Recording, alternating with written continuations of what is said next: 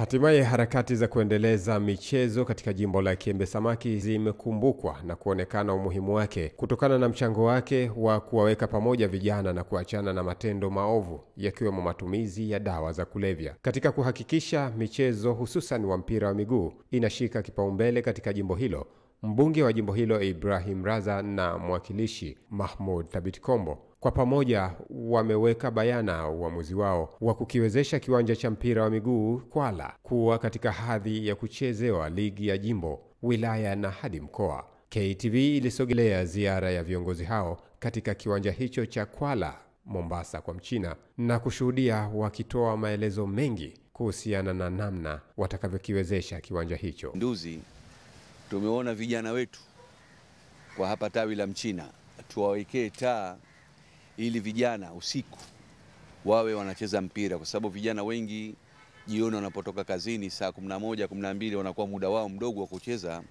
Kwa hiyo tumeona njia hii itawasaidia vijana vile vile kucheza mpira usiku, na tukisema kwamba michezo ni moja katika ajira. Kwa hiyo watapocheza hapa wataonekana e, professional yao, wanaweza wakasajiliwa na vilabu vingine.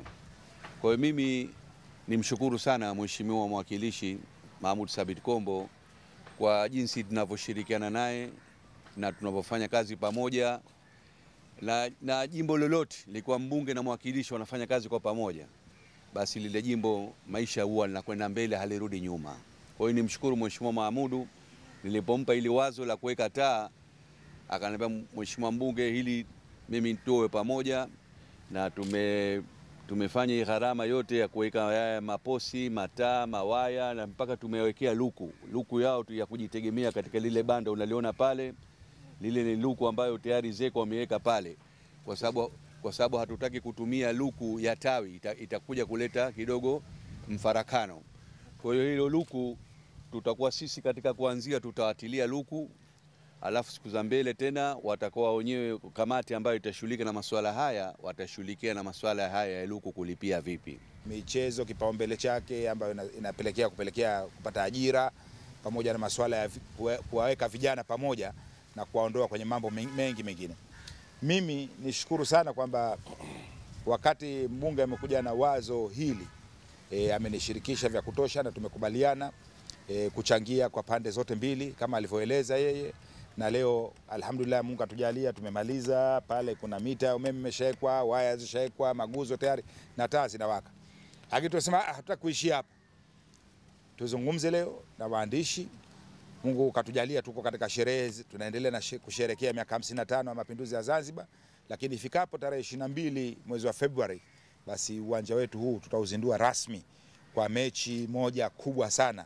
Itakuwa ni surprise, hatutakwambia ni timu zipi zitakazocheza lakini tutazindua uwanja siku hiyo, na kama alivyosema mheshimiwa mbunge, tunamkabili tuna mheshimiwa spika wa baraza la wakilishi ili awe mgeni wetu rasmi. Naamini wengi wao watakuwa ndio walinzi wenyewe wa rasilimali hii ambayo ni ya kwao. Hizi taa si za mbunge wala si za mwakilishi, sasa hivi ni za kwao vijana ambao wanatumia uwanja huu, na zitaendelea kubakia E, milele na milele. Kila watakapokuja wengine, basi na wao wataendelea kutumia. Kwa niaba ya vijana wanaotumia kiwanja hicho, Nasir Ali, pamoja na kutoa shukrani za kuwekewa taa uwanjani hapo, lakini pia amewaomba viongozi hao kuwasaidia mashine ya kompresa ili iwasaidie katika shughuli zao za kujikimu kimaisha katika mradi mpya waliobuni wa uoshaji wa magari. Tunalishukuru sana, wameweza kutuahidi kwamba watatuwekea taa, lakini tunashukuru kabla ya mwaka elfu mbili na ishirini tayari tumeshawekewa taa, tunashukuru kwa hilo. Pili kabisa, ningependa kutoa shukrani za dhati kwa waheshimiwa wangu Mheshimiwa Radha pamoja na Mheshimiwa Mheshimiwa Mahmud Thamid Kombo, ni mlezi wetu kwa hapa, tunamwona kila siku. Tunatoa shukrani za dhati kwa hilo, lakini pia sisi kama vijana wa hapa kwa Mchina tumeamua kufanya baadhi ya shughuli kwa sababu tunaonekana kwamba hatuna kazi ya kufanya ya kujishughulisha.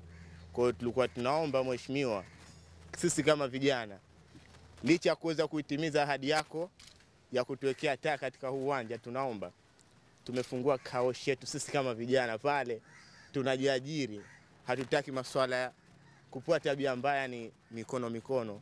Kwa hiyo tunaomba utusaidie labda kitu kama pressure ya kuweza kusafishia gari. Kwa maoni na ushauri tutumie comment. KTVTZ Online, hakika hii ni fahari yetu.